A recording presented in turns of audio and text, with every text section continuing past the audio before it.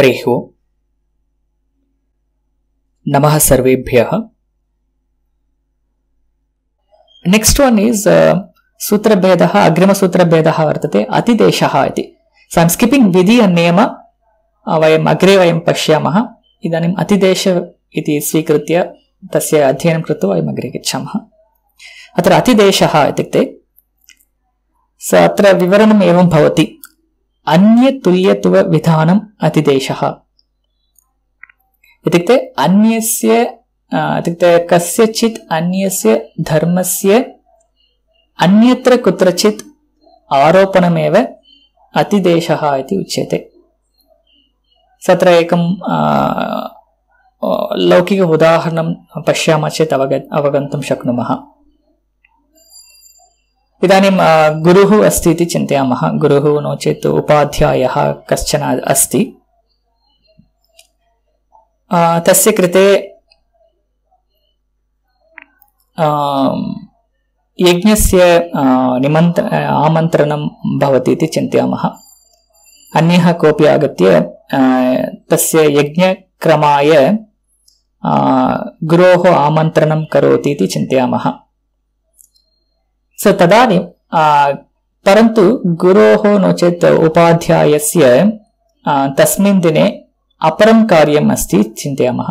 अत्र गुरोः यज्ञविधाने आह्वानमस्ति, परन्तु तस्मिन्नेव दिने गुरोः अपरमपि कार्यं वर्तते। तदानीं गुरुः किं करोति? गुरुः तस्य स्वशिष्यं प्रतिनिधिरूपेण यज्ञाय प्रेषयति। अवगन् अवगच्छन्ति इति मन्ये। सो गुरोः आह्वानमस्ति यज्ञाय परन्तु गुरोः अपरं कार्यमस्ति तस्मिन्नेव दिने। अतः गुरुः स्वस्य शिष्यं प्रतिनिधिरूपेण प्रेषयति प्रथमं तत्र यदि शिष्यः तत्र यज्ञकार्यं प्रति गच्छति गुरोः कृते यत् सर्वं क्रियते तत्सर्वं शिष्यस्य कृते अपि क्रियते उदाहरणार्थं पादपूजा अनन्तरम् अग्रासने उपवेशनम् अनन्तरम् अञ्जलिः अनन्तरम् एता एतादृशः क्रमः भवति खलु यदि गुरुः गच्छति चेत् गुरोः कृते कानिचन कार्याणि भवन्ति यज्ञे तानि कार्याणि सर्वाणि शिष्यस्य कृते अपि भवन्ति किमर्थम् इदानीं शिष्यः प्रतिनिधिरूपेण गुरोः प्रतिनिधिरूपेण आगतः इति कारणेन शिष्यस्य अपि तानि एव कार्याणि तत्र भवन्ति। एवं यत्र अन्यस्य धर्मस्य आरोपणं क्रियते तादृशः भावः अतिदेशः इति उच्यते। अत्र गुरुधर्मः शिष्ये आरोपितः वर्तते अतः गुरुः सारि अतः शिष्यः गुरुणा यत् सर्वं प्राप्यते तत्सर्वं तस्मिन् प्रसङ्गे शिष्येन अपि प्राप्यते। स एतादृशभावः एव अतिदेशः इति उच्यते। स अवगम्यते इति मन्ये। अत्र एकम् उदाहरणं वयं पश्यामः चेत् ज्ञातुं शक्नुमः। अत्र उदाहरणं भवति तृज्वत् क्रोष्टुः। अस्तु अहम् एतद् उदाहरणम् अपरम् अन्यत् अनन्तरं स्वीकरोमि. इदानीं लोटो लङ्वत् इति एकम् उदाहरणं पश्यामः. स भवन्तः इदानीं लङ् रूपाणि अपि जानन्ति लोट् लकाररूपाणि अपि जानन्ति एव. ओके सो लङ् रूपाणि कथं भवन्ति? अपठत् अपठताम् अपठन् इति रूपाणि भवन्ति. लोट् लकारे कथं रूपाणि भवन्ति? पठतु पठतां पठन्तु इति रूपाणि भवन्ति. तत्र पश्यामः चेत् द्विवचनरूपं पठताम् इति लट् लक लोट् लकारे तथा लङ् लकारे अपि रूपं तु समानम् इव दृश्यते। अत्र पठताम् इति लोट् लकारे लङ् लकारे अपठताम् इति ताम् इत्येव अन्ते भवति। अतः किं भवति अत्र? लोट् लकाररूपाणि लङ्वत् रूपाणि भवन्ति इति तत्र अतिदिश्यते सो अत्र लङ् रूपाणि यथा भवन्ति तद्वदेव लोट् लकाररूपाणि अपि भवन्ति इति अत्र लोटो लङ्वत् इति सूत्रमेव अस्ति। अत्र सूत्रस्य आशयः कः यथा लङ् रूप लङ् रूपाणि निर्मितानि भवन्ति तद्वत् एव लोट् लकाररूपाणि अपि निर्मातव्यानि इत्येव तत्र उच्यते।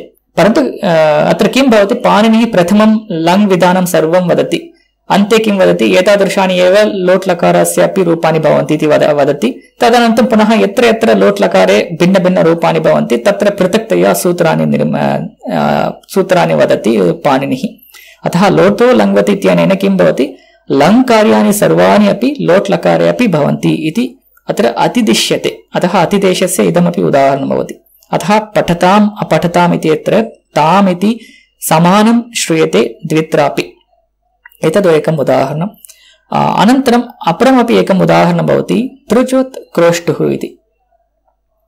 अत्र क्रोष्टु इति एकं पदं वर्तते। क्रोष्टु इति प्रातिपदिकम्, उकारान्तं प्रातिपदिकं भवति। अत्र पुंलिङ्गप्रातिपदिकं भवति। अस्य रूपाणि कथं भवन्ति इत्युक्ते, सामान्यतया गुरु इति रूपं स्वीकुर्मः, गुरुः गुरुगुरवः इत्येवं क्रोष्टुः क्रोष्टुः, क्रोष्टवः इत्येवं वदामः। परन्तु क्रोष्टुशब्दरूपाणि गुरुशब्दरूप रु- गुरुवत् रूपाणि न भवन्ति क्रोष्टुशब्दरूपाणि तृच्वत् भवन्ति इति अत्र सूत्रस्य अर्थः भवति अत्र तृच् इत्युक्ते आ, तृच् इति एकः प्रत्ययः भवति सः प्रत्ययः धातोः भवति अत्र सर्वेभ्यः धातुभ्यः तृच् इति प्रत्ययः भवति अतः तृजन्तम् इति रूपनिर्माणं भवति उदाहरणं आ, कृ इति धातुः कृ प्लस् तृच् कर्तृ इति रूपं भवति। विभक्ति विभक्तिरूपाणि कर्ता कर्तारौ कर्तारः एवं भवन्ति। पुनः दा इति धातुः दा प्लस् तृच् दातृ इति रूपं भवति प्रातिपदिकं। पुनः दाता दातारौ दातारः एवं रूपाणि। पुनः तत्र दृश् इति धातुः दृश् प्लस् तृच् आ, दृ आ, द्रष्टृ इति रूपं भवति पुनः रूपाणि द्रष्ट्रा द्रष्टारौ क्षम द्रष्टा, द्रष्टारौ, द्रष्टारः एवं रूपाणि भवन्ति। स एवं तृच्वत् क्रोष्टुशब्दस्य अपि रूपाणि भवन्ति इति अस्य सूत्रस्य विधानं भवति। तर्हि क्रोष्टु इत्यस्य क्रोष्टुः क्रोष्टु क्रोष्टवः इति गुरुशब्दवत् रूपाणि न भवन्ति। तदपेक्षया कर्ता, कर्तारौ, कर्तारः इत्यवत् तत्र क्रोष्टा क्रोष्टारौ क्रोष्टारः एवं रूपाणि भवन्ति इति वदति इदानीम् अवगम्यते इति मन्ये अत्र एकस्य धर्मस्य आरोपः अन्यत्र क्रियते सः एव अतिदेशः इति उच्यते अत्र सामान्यतया अतिदेशसूत्रेषु सर्वत्र एव अपि वत् इति आ, किञ्चित् श्रूयते अत्र तृच् वत् क्रोष्टुः तत्र वत् भवति पुनः लोटो लङ् वत् तत्र वत् इति भवति अत्र यत्र यत्र वत् इति श्रूयते सामान्यतया तत्र अतिदेशः इत्येव अवगन्तव्यः अतिदेशः इत्युक्ते यथा तृच् तृजन्तरूपनिर्माणं भवति तद्वतेव क्रोष्टुशब्दस्यापि रूपनिर्माणं करणीयम् इति अर्थः अतः कर्ता कर्तारौ कर्तारः इतिवत् क्रोष्टा क्रोष्टारौ क्रोष्टारः इति रूपाणि भवन्ति पुनः लोटो लङ्वति यथा लङ् रूपाणि भवन्ति तथा लोट् लकारस्यापि रूपाणि भवन्तु इति आशयः। अत्र यथा अपठताम् इति रूपाणि भवति रूपं भवति तद्वत् एव पठताम् इति रूपमपि लोट् लकारे भवति। पुनः तत्र किमर्थम् अकारः भवति इति मा पृच्छन्तु। तत्र अकारः लङ् लकारे अकारः भवति अडागमः भवति तद्भिन्नम्। अत्र पठताम् अपठताम् इत्यत्र ताम् इति प्रत्ययः अन्ते या यः प्रत्ययः भवति तत् रूपं तत् प्रत्ययरूपं तु समानं दृश्यते इत्येव तत्र आशयः अत्र प्रश्नाः सन्ति वा? अत्र वयं स्थगयामः वयं अग्रिमरूपभेदत्रयं वयम् अग्रिमकक्षायां पश्यामः अत्र अधिकारः इति भेदः पुनः विधिः इति एकः भेदः नियमः इति अपरः भेदः एवं भेदत्रयं वयम् अग्रिमकक्षायां पश्यामः अत्र प्रश्नाः सन्ति वा प्रायशः चतुर्सहस्र चतुर्थ सूत्राणि सन्ति किल four thousand sutras are there प्रत्येकं सूत्रम् एतेषु अन्यतमः भवति वा? अतः किम् इति चेत् संज्ञा वा भवतु परिभाषा वा भवतु विधिः वा भवतु नियमः वा भवतु सो प्रतिसूत्रम् एतेषु अन्यतमं भवति वा इति मम प्रश्नः। आम् आम् आम् सत्यम्। अस्तु महोदय इदानीम् अवगतम्। हरि ओम् महोदय। सो त्रिज्वत् त्रिज्वत् इस् कृत्तोर् दातृ दट् शब्दं महोदय। कृद्वजिस् सो कृत्वजिस् सोरि त्रिज्वत् त्रिज्वत् is cross through it doesn't go like गुरुवत्. सो त्रिज्वत् क्रोस् थ्रु हूयता क्रोष्ठा क्रोष्ठारो। That means all wherever you have a through कर्तृ दातृ भ्रातृ all that will go only like a brata, bratarao, brataraha. No, no, no, no. You are understanding reverse way. It is already said that we already know that data, dataro, dataraha, karta, kartaro, kartaraha. The same way kroshtu shabda will also have the forms. That's what is said here. It's not that same as kroshtu other shabdas follow. No. It's like similar to trich, trijanta shabdas, the kroshtu shabdas will also have the forms. No, not clear, Mahodaya. This part, the last part is not clear. सः किं करोति प्रथमं तृजन्तशब्दानां no रूपनिर्माणं वदति अत्र तृच् तृजन्तशब्दः इत्युक्ते दा दा plus तृच् दातृ इति रूपं प्रातिपदिकं भवति तस्मात् दाता दातारौ दातारः रूपाणि भवन्ति एतत् स- सम्यक् अवगतं खलु इदानीं क्रोष्टशब्दस्य अपि दातृशब्दवत् रूपाणि भवन्ति इति सः वदति इत्युक्ते क्रोष्टुः क्रोष्टु क्रोष्टवः इति न भवन्ति रूपाणि तदपेक्षया दाता दातारः दातारौ दातारः इतिवत् क्रोष्टा क्रोष्टारौ क्रोष्टारः इति रूपाणि भवन्ति. Hmm. So that is one, that is one part of the sutra, Mahodaya. Trijvat cross two is one part, and loto langvat tata patatam pa- patatam. That also is one more. Uh, So I Sorry, don't can you and I cannot. con- Both are different, different udarnaha, Mahodaya. Like, and they are all in the sutra only. Trijvat cross through. Which which both you are talking about? No, no. There are two udarnas you have given. Loto langvat yata patatam patatam. Yeah, that's another example. Yeah, it's in both are two different examples. Okay, this is okay. Okay, now I got it. I was trying to connect. Sorry, Mahodaya. Now I got it. It's nowhere related actually. Yeah, one udaranam and lot lotu langvat is another udaranam. yeah, yeah right. Uh, see, somebody had asked a question about that uh, the sutras can they come under different vidam. I, I couldn't quite follow it. One sutra will have only one vidam, or it can be have different vidam depending on the context. So each sutra will definitely fall under one of these categories. Only one category, no? Any one. Sometimes it can also act multiple. question, It was not very clear to me. No, no, no, no. Uh, sometimes, uh, okay, by default, all the sutrams will be one of these categories. But some cases, there are certain sutras may act or may take two positions or multiple positions on this. But that we'll see later. But in general, every sutra will fall under one of these categories.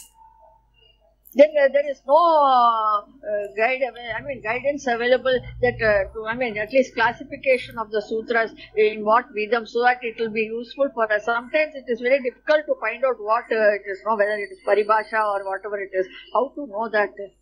Yeah, that's why we'll, when we are studying sutras later, we'll uh, have that classification. But now we need to know, we have six, yeah, we'll get to know I, have a, I, I am not very sure about i am not uh, very clear on that. How to identify this uh, thing? uh, No, no, if you see, what my point uh, okay, that is why we are uh, learning the concept here, right? When you are Atidesha or Paribhasha Sanya, okay we are learning the Lakshanam of that Paribhasha Sutram. Uh, if that Lakshanam matches, then it's a Paribhasha Sutram. If the particular Lakshanam of Sanya Sutra matches, then it's a Sanya Sutra. Okay, but when we are studying the Sutrams in the later sessions, uh, uh, we'll be able to identify them. Don't worry. we will get to know is it okay. Yeah, yeah, we'll get to know that. Yeah. Astu. Yeah, but at this level, I expect all of you to understand what is a Sanya, what is a Paribhasha, what is a Atidesha and so on. And examples you can skip actually, but examples are just for explaining you um, better. But if you think the examples are even more conf confusing you, please ignore the examples at this point. Uh, maybe we'll learn more examples in the uh, course. Uh, I am Shabda Kroshtuva. Krosh Kroshtu is a Shabda. The- the- अस्तु महोदय धन्यवाद It's a Kroshtu is a Shabda. It's a jackal. Astu, agree. धन्यवाद महोदय Yeah. Uh, just to add here, okay, if you are not part of the Telegram group, just go to uh, this course page. Uh, yeah, the uh, Vyakarna Shastra Pravesha course and uh, you will have that uh, telegram group here actually. So this is a link you need to click and join the telegram group here. So this is the group name. Uh, just ensure that you are part of this group. Yeah, are you able to see my screen? Yeah, this is the group you need to be part of.